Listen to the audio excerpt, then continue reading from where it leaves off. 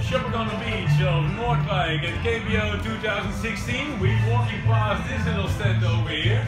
It is from Mystic. Hello, and you are? I am Max, working for Mystic, and I'm gonna tell you something about our products. Ah, perfect. So, what kind of thing do we see over here, Max? Well, this is the Dazzled crop top and the Dazzled lycra pant, and we developed this especially for the ladies in summer, because as you know, the ladies want to be sexy on the water. So we have this lycra pant, uh, good for the sun protection, as I said, sexy fit, and then above crop top, sexy belly cut, and a specialized mesh neoprene, which ventilates uh, the moisture a little bit. So. Uh, new way of uh, women's kiteboarding.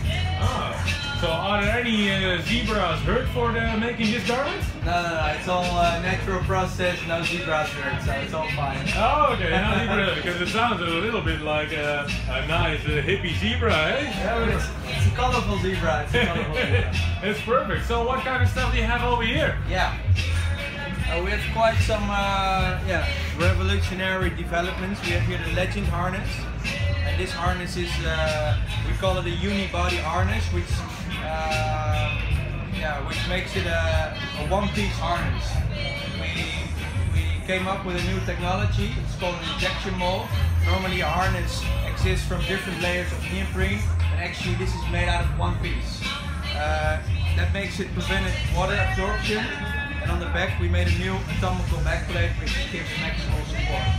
So it's actually a very uh, nice new harness and I think a good step in pushing the technology into uh, kitesurfing harnesses. Okay, so it's pushing the technology, but what would it do for the rider?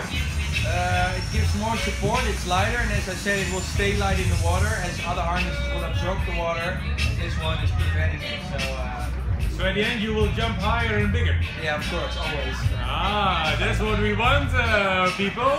So go to the store and buy that stuff.